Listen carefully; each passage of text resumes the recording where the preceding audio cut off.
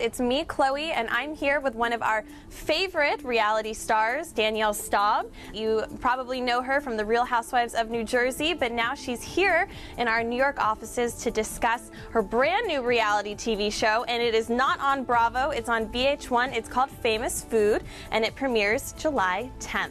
Thank you so much for coming in here. Oh, my pleasure. You know I always I've come. missed you. I know. That's a whole different thing to talk about. So no more East Coast. So you went to California. Tell me a little bit about Famous Food. What is this show? God, I feel so blessed to become a part of this this phenomenon. It's really, really going to take off, and um, it's opening a restaurant in 30 days with six celebrities plus an ex-call girl, and you know we have to do everything.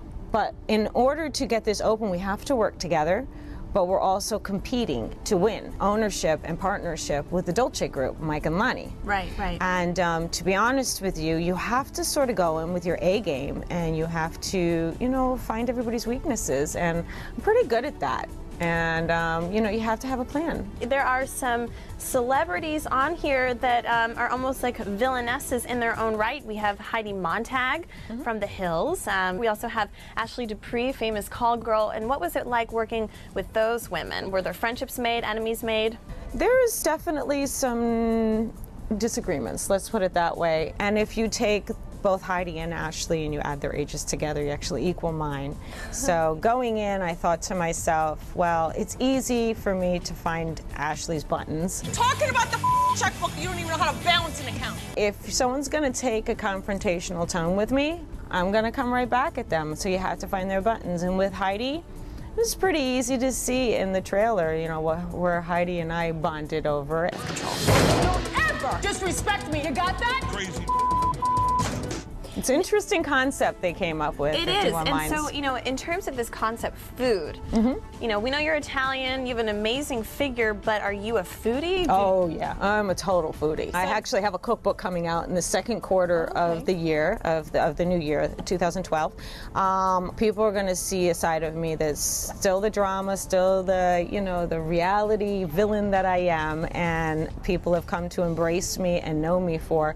But also going to see a side of me that's not only competitive but that knows food very very well. Hello, I'm Italian, so who knows food better than me? Going in and being able to show myself in a different light, but then drop all those thoughts and just go, wait, wait, wait, wait, this recipe needs this and this needs that. You just really start to forget there's cameras there. And you were involved in every aspect of this restaurant, everything to down be. to the design, the layout, you know, hiring the staff and things Mm-hmm. like that. What challenges did you find that you faced? The biggest challenges for me were actually just trying to make sure that my ideas stuck like glue. So anytime you leave to go do a task, you have to wonder what's going on back at the restaurant because the only strategy really that a couple of them could have was let's undo what she did or take her idea and put ours in there. Every time I think we've got it figured out, take 10 steps back.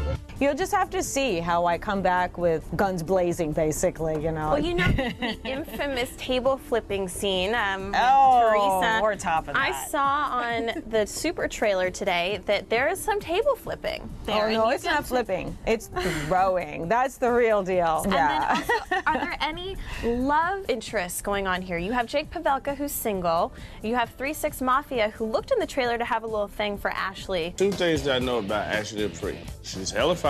She love to have sex. Bang, bang, bang. I don't think you're going to see a lot of love interests going on through the ones that you mentioned. But um, Is there possibly something? there's- Did you find love while filming Famous Food? you know, I found a great reconnection and love for food and my passion. Well, listen, Danielle, thank you so much for stopping by. And remember, everyone, tune in this Sunday, July 10th on VH1 for the premiere episode of Famous Food. Thanks, Danielle. Thank you.